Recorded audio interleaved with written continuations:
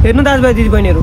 एक दिन नेपाल नेपाल रहँदैन र बालन बालन रहँदैनन्। देशका भ्रष्टाचारी क्रूर नेताहरूसँग बालन शाह एक्लै लडिरहँदा देशका युवाहरू चाहिँ म काङ्ग्रेस म माओवादी म एमाले भनेर लडिरहनु उचित हो। राजनीति भने के हो? राज गर्नको लागि गरिने नीति नै नै राजनीति हो। जनतालाई चाहिएको सेवा नीति हो। कानुनी राज्यमा कहिले यस्तो हुन्छ? सबै समान हुन्छ कि हुँदैन? हाम्रो देश कानुनी राज्य भएर पनि सन्दीप लामिछाने हत्कडी लाएर जेल जानुपर्ने हत्कडी लाएर घर आउनुपर्ने। अनि देशमा रहेका भ्रष्टाचारी विकृति फैलाउने नेताहरू जति पनि नेतालाई खोल्टीमा हालेर हिँड्ने झुर अवैधानिक रूपमा बसोबास गर्ने विदेशी नागरिकहरू आएर देशमा शोषण गरेर उनीहरू जेलबाट फर्किँदा हेलिकप्टरमा घर फर्किनु उचित हो? जेल गएको मान्छे हेलिकप्टरमा फर्किनु चाहिँ उचित। अनि हाम्रा खेलाडी खेल्न गएका खेलाडी जेल जेल आउनको लागि एयरपोर्टमै हत्कडी लाएर फर्काउनु यो उचित हो? कानुन बराबर हो भने सबैलाई सम्मान हुनुपर्छ। उसँग पनि थियो आफ्नै हेलिकप्टर। थियो पक्कै थियो ल्याउनु सक्थ्यो। हो कि होइन ल भन्नुहोस्? देशमा भइ चाहिँ के रहेछ? सबैलाई बराबर छ। बिस वर्ष भयो चितवनमा धुलो खाएको। बाटो बनाएछ कहिले? सम्म बाटोमा पिच गर्न नसक्नेले कसरी? नेताहरूको काम भनेको आफ्नो छोरछोरीको छाती ठुलो बनाउने बाहेक केही पनि काम छैन। भ्रष्टाचारी नेताहरू यिनीहरूलाई अब आरोप लगाउँदाखेरि सबुत चाहिन्छ होइन? सबुत चाहिन्छ नि यिनीहरूलाई। मैले सास फेर्छु मुख र नाकबाट। सबैलाई थाहा छ। देख्नु भएको छ देख्नु भएको छैन सास फेर। तर तपाईँलाई सबुत चाहिन्छ त्यसको? चाहिँदैन नि। अनि फेरि यिनीहरूलाई किन सबुत चाहियो? देश बिगार्ने भ्रष्टाचारीहरू सब सरकारी कर्मचारीहरू हुन्। यिनीहरूलाई जेल हाल्नुपर्छ सरकारी कर्मचारीले देश खत्तम बनाएको। युवाहरूलाई खोल्टीमा हालेर हिँडे कि यिनीहरूले। जति देशमा युवा छन् नि जति प्रतिशत। त्यसको पाँच प्रतिशत युवाले चाह्यो भने पनि देशलाई सकारात्मक प्रतिक्रियातिर लान सकिन्छ। तर युवाहरू नेताको पछाडि किन लाग्ने? यिनीहरू यिनीहरूसँग छ चाहिँ ए ल भन्नुहोस् त। विगत लामो समयबाट हामीले दुःख पाएको हाम्रो बाबुबाजेले दुःख पाए कि? बरु देश त्यति बेला राम्रो थियो कस्तो थियो म जान्दिनँ। तर अहिले कस्तो भयो हाम्रो देश? नेपाल नेपालै रहेन कि? नेपाल नेपाल नै रहँदैन युवा युवामा रहँदैनन् सबैजना हामी बाहिर छौँ। तर देशमा जति युवाहरू छन् त्यसको पाँच पर्सेन्ट युवा भयो भने देश अगाडि बढ्न सक्छ कि? केही गर्नु पर्दैन कि अरू? हामीसँग वाइल्डै कुराहरू छ कि? भएको प्राकृतिक स्रोतलाई पनि युज गर्न सकिरहेनौँ कि हामीले एउटा एडभर्टाइजमेन्ट नै गर्न सकिरहेनौँ देशमा कानुनी राज्य नै बनाउन सकिरहेको छैनौँ। ल भन्नुहोस् त। नेताहरूलाई छ नि भ्रष्टाचारीको फाइल खोल्नुभन्दा बरु नाबालिकाको कपडा खोल्न सही लाग्छ यिनीहरूलाई? नेताहरूसँग कति पावर छ? देश सञ्चालन गरिरहेछन्। तर पछिल्लो समय गृहमन्त्री त अहिले भर्खरै नयाँ हुनुभएको छ। कानुनी राज्य भएर पनि जनताले चाहिँ कति दुःख भोग्नु पर्यो मेरो ज्यानको मूल्य कति होला? बाह्र लाख। दसैँमा दसजना पाहुनालाई खुवायो भने सकिन्छ त्यो बाह्र लाख तपाईँको भाइ अथवा दाई अथवा छोरा राखेर सोच्नुहोस् त। छोरी राखेर सोच्नुहोस् त त्यो बाह्र लाखमा। तौल्नुहोस्। तपाईँ यतापट्टि बाह्र लाख राख्नुहोस् यतापट्टि छोराछोरी सक्नुहुन्छ। हिजो मैले दाई गुमाएँ भाइ गुमाएँ। आज देश गुमाउँछु। भन्ने आश्वासन सबै जनतालाई हुन थालिसक्यो। तपाईँ हामी मिलेर युवा युवा मिलेर काम गर्ने हो कि? अझै पनि हामी चाहिँ होइन नेताज्यू। ल मलाई पास गराइदिनु। ल मलाई दुइटा क्वेसन मिलाइदिनु कलेजबाट। शिक्षा स्वास्थ्य धर्ममा राजनीति भइरहेछ कि? प्रचार प्रसार हस्पिटल आदि हस्पिटलमा के भइरहेछ? गरिब दुखी जनताहरू गइरहेछन् हस्पिटल उपचार गर्न। तर उपचार गर्न होइन बिरामी भयो मारिदिए भयो मेरो छोरालाई मेरो भाइलाई मेरो दाइलाई मारिदिए तर न उपचार नगर। देशका जनताहरू त्यस्तो स्थितिमा छन् अहिले। मेरो छोरीलाई उपचार गर्नु पर्दैन कि? मारिदिए हस्पिटलमा लगेर मारिदिए भनिरहन् कि मा? नेपाली गरिब दुखीले के मा? तपाईँ हामी त्य- त्यस्तो अवस्थामा छौँ क्या अल्सर भयो उपचार गर्न सकिँदैन कि नेपालमा? अनि नेताहरू चाहिँ इन्डिया गएर उपचार गरेर देशको राजस्व ट्याक्स भ्याट बिल तिरेको पैसाले चाहिँ उपचार गरेर आउने उनीहरू। चिल्लो कालो गाडीमा। तिनीहरू चिल्लो गाडी चढ्न डिजर्भ गर्छन् भने नेपालका जनताहरू पनि चिल्लो गाडी चढ्न डिजर्भ गर्छन्। किनकि तिनीहरूलाई त्यहाँसम्म पुर्याउने त नेपाली जनताका यी औँलैहरू नै होइनन् र। आज औँला ठडाउँदाखेरि गोली लगाउने मान्छेमाथि पैसा लगाउने। कहाँ कहाँ छ हाम्रो देश? गरिबेष्टिक राष्ट्र भएर विकास नभएको विकास त पहिल्यै भइसक्यो बाटो बनाएको छैन। कहाँ बन्दैछ? बन्दै छ अरे। मुजी कति वर्ष भयो बाटो बनेको? बिस वर्ष भयो चितवनमा धुलो खाएको मैले। एउटा राम्रो गार्डन बनाउन सक्दैन एउटा जिल्लामा। सतहत्तरवटा जिल्ला छ हाम्रो देशमा। चुनावको बेलामा द्वन्द्व छुवाछुत भेदभावको कुराहरू ल्यायो सिम्प्याथी कमायो भोट ल्यायो नेपालले खेलेको बेलामा राम्रो खेलिरहेको बेलामा नेपालको जर्सी लायो अनि फोटो हाल्यो। काठमाडौँ फोहोर पुरै सफा भइसक्यो नलायो अब बल्ल फोहोर टिपेको नाटक गर्यो। जनताको पैसा लुट्ने काण्डकारी बन्ने अनि देशमा भएको शक्ति स्रोत साधनको दुरुपयोग गर्ने र राष्ट्रभित्र रहेको जैविक आर्थिक विभिन्न पौष्टिक खाद्यान्न कुराहरूको दुरुपयोग गर्ने पडोसी मुलुकहरूलाई बेच्ने राष्ट्रका गहनाहरूको इज्जत नगर्ने राष्ट्रघाती द्वेषद्रोही देशलाई माया नगर्ने प्रकृति अन्धविश्वास छुवाछुत फैलाउने यिनीहरूलाई त केस हाल्ने हो भने यति धेरै लाग्छ अदालत यिनीहरूकै कानुन आफ्नै। हरेक नेताहरूको हरेक पार्टीको आफ्नो च्यानल छ अहिले। हरेक एक हप्तामा एउटा नेताको तारिफ सुन्न पाइन्छ। वाह गऱ्यो म बुढोले गरे चाहिँ के? आफ्नो छोरछोरीको छाती ठुलो बनाउने काम विदेशमा गएर नागरिकता लिने काम सहकारी ठगी। मेरो मम्मीको पाँच हजार रुपियाँ छ। महाकसम एउटा बाबुको छोरो हो भने म त्यो मैले सहकारी मैले मेरो मम्मीको जसले पैसा त्यसलाई म छोड्दिनँ। संस्थामै गएर आगो लगाउँछु। महाकसम एउटा बाबुको छोरो हो भने म। पाँच हजार रुपियाँ जम्मा गरेर कति गाह्रो हुन्छ थाहा सोच्नुहोस् तपाईँको दिदीबहिनी आमा बाउ दाजुभाइ दिदीबहिनी कति दुःख गरेर जम्मा गरेको पैसा आउँछ आफै सत्तामा छन् आफै राजमा छन् आफै राजा भएका छन् आफै नेता आफै मन्त्री अनि त्यसपछि सबुत मेटाउँछन् अनि जनतालाई खै सबुत? को चाहिँ खुसी छ अमेरिकाको पासपोर्ट पाएर? ल मलाई एकजना आइदेऊ त। ध्यान गर्दा चाहिँ। को चाहिँ खुसी छ? कोही पनि खुसी छैन। कहीँ कोही एक रुपियाँ खुसी छैन मान्छे। लास्टमा लाग्ने भनेको देशकै माया हो क्या? जसले चाहिँ भन्यो भने आफू जन्मेको ठाउँ राम्रो होस् भन्ने हुन्छ हुन्छ कि? म आफू जन्मेको खाट अहिलेसम्म फाल्न सकेन थुत्रो भए पनि। एउटा खाट फाल्न सकिँदैन देश छोड्न सकिन्छ यार। सोच्नुहोस् त। एकपटक आफूलाई प्रश्न गर्नुहोस्। के तपाईँले रोजेको प्रतिनिधि ठिक छ? तपाईँले चुनेको मान्छे ठिक छ? तपाईँ जुन नेताको पछि लागिरहनु भएको छ सेतो कपडा लाएर कालो कर्तुत गरिरहेछ त्यो मान्छेको कर्तुत थाहा हुँदा हुँदैन तपाईँ बोल्न सक्नु भएको छैन। किन? किन तपाईँ पछि परिरहनु भएको छ अरूभन्दा? किन तपाईँसँग ट्यालेन्ट हुँदा हुँदा पनि तपाईँ अगाडि बढ्न सकिरहनु भएको छैन ऐनामा हेरेर सोध्नुहोस् त एकचोटि। तपाईँसँग खुबी छ त्यो कुर्सीमा बस्ने तर तपाईँ किन बस्न सकिरहनु भएको छैन? एकचोटि आफूले आफूलाई प्रश्न गर्नुहोस् न। माटोको मायाले खान दिन्न भनेर मेरो बाउले चार वर्ष अगाडि भने हुन् कि? तर मलाई अहिले फिल भयो बाबा किन पच्चिस वर्ष इन्डिया बस्नुभयो?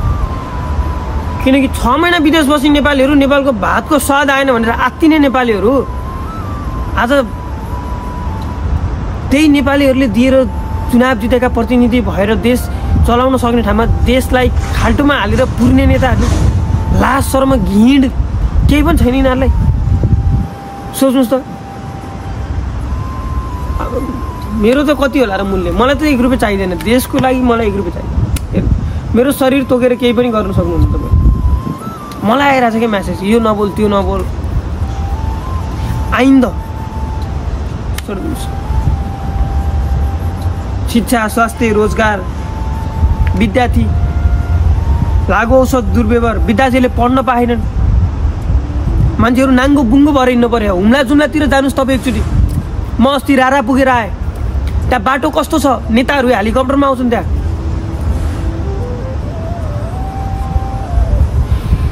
तिनीहरू चिल्लो गाडीमा हिँड्छन्।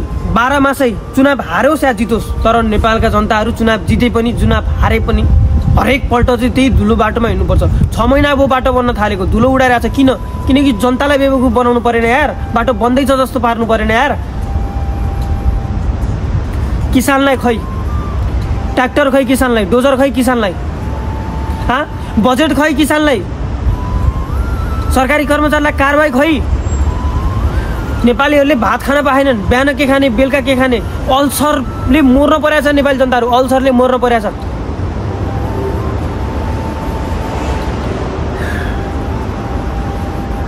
ग्यास्ट्रिकको उपचार टाइममा गर्न पाएनन् कि नेपालीहरूले? ग्यास्ट्रिकको उपचार।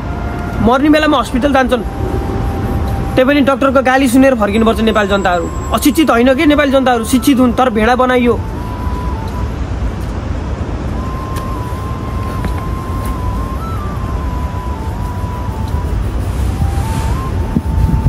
खेलकुदमा खेलाडीलाई इज्जत खै के प्रोत्साहन खै।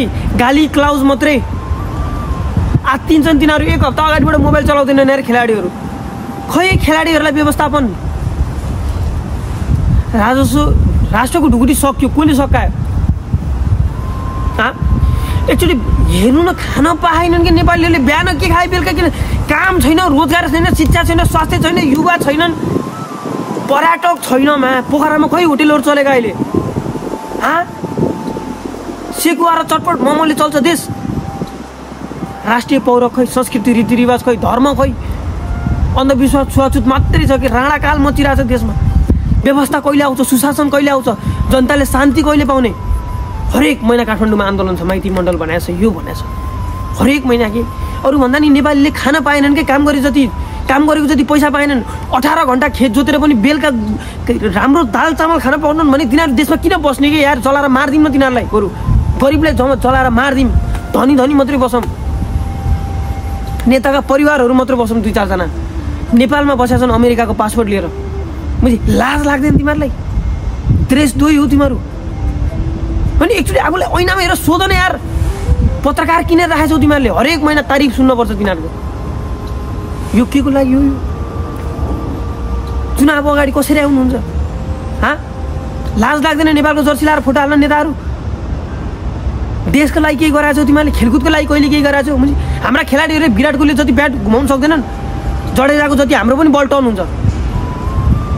बुझ्नु नि रोहित शर्माले जति लम्बो लामो छक्का हाम्रो खेलाडीहरूले नै हानिराखन् बुझ्नु नि रोनाल्डोको जति किक सुट नहोला। तर माइन्ड सेट बनाउन सकेको खै? त्यो मेसीले जस्तो खेल्न सक्दैन। हाम्रो देशका युवाहरूले किन सक्दैन? बल बलै हो खुट्टा खुट्टा हो हात हातै हो। खेल्न सकिन्छ मुझे किन नसकिने? कसले सक्दैन खेल्न। खै तिनीहरूलाई पैसा मुझे पैसा छैन को खेल्छ? हाँ? पैसा कहाँ छ? पैसा राजनीतिमा छ शिक्षामा छ स्वास्थ्यमा छ अनि धर्ममा छ। खै खेलाडीहरूलाई प्रोत्साहन? खै खेलाडीहरूलाई पैसा? खै खेलाडीहरूलाई इज्जत? खै इज्जत? खेलाडीहरू बसमा भाडा तिरेर एकाडेमीसम्म जानुपर्छ। तर नेताहरू खेलकुद हेर्न पनि चारवटा पुलिसका गाडी अगाडि चारवटा गाडीका पुलिस पछाडि। हाँ? लाज लाग्दैन लाज। सरम लाग्दैन यार अलिकति।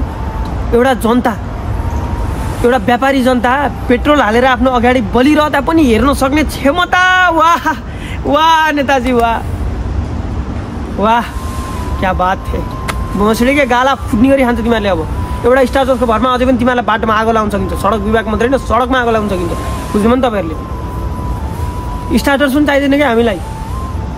जनतालाई बास एउटा सनको चढिरहेको छ कि सनको। म आफ्नो तर्फबाट हन्ड्रेड पर्सेन्ट मिहिनेत गर्छु त्यसलाई। देशको लागि जे हुन्छ गरिन्छ भाइ। सास फेरेर पनि त्यसलाई हुन्छ नि सास फेरिन्छ बस। जे हुन्छ गरिन्छ। तर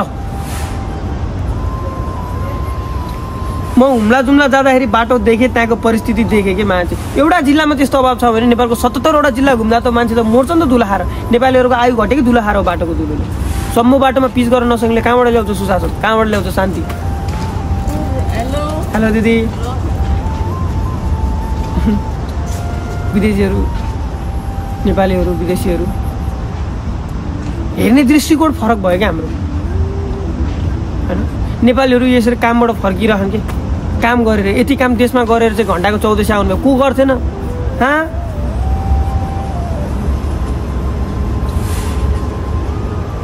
विदेशीहरूको लाइफ स्टाइल हेर। खिचिक खिचिक फोटो खिचेर गयो। सर्ट प्यान्ट लाग्छ चिटिक्क परेर हामीले आज सर्ट प्यान्ट लगायो भने भोलि के लगाउने थाहा छैन। कपडाको भाउ त्यस्तो छ। बारकोड सिस्टम नआएसम्म जनता लुटिन्छन् कपडामा।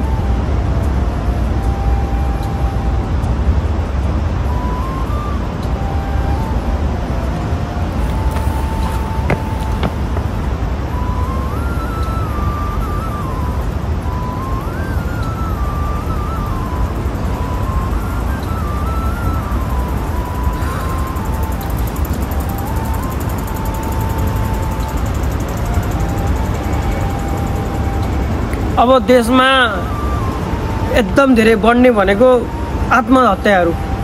किनकि शिक्षा राम्रो हुँदा हुँदा पनि शिक्षित बन्न सकेका छैनन् अशिक्षित भएपछि डकुमेन्ट राम्रो नभएपछि विदेशले भिजा दिँदैन विदेशले भिजा नदिएपछि जीवनशैली गुणस्तरीय बढ्न सक्दैन देशमा।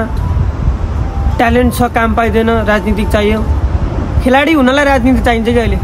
पार्टीमा मान्छे नभएसम्म नेसनल टिममा परिन्न अहिले। वास्तविक कुरा खेलाडीले भन्न सकेका छैनन् एउटा हाम्रो दाइले स्यालेरी भएन भनेर भन्दाखेरि चाहिँ उसलाई धन्य बाइकट हानिएन। खेलाडीहरू अनसल्टका अनसल्ट राम्रा खेलाडीहरू।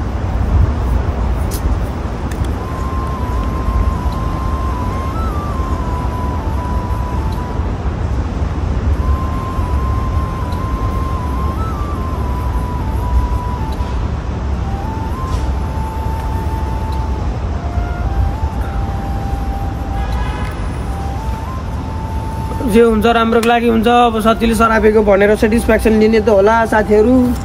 अरू के नै गर्न सकिन्छ।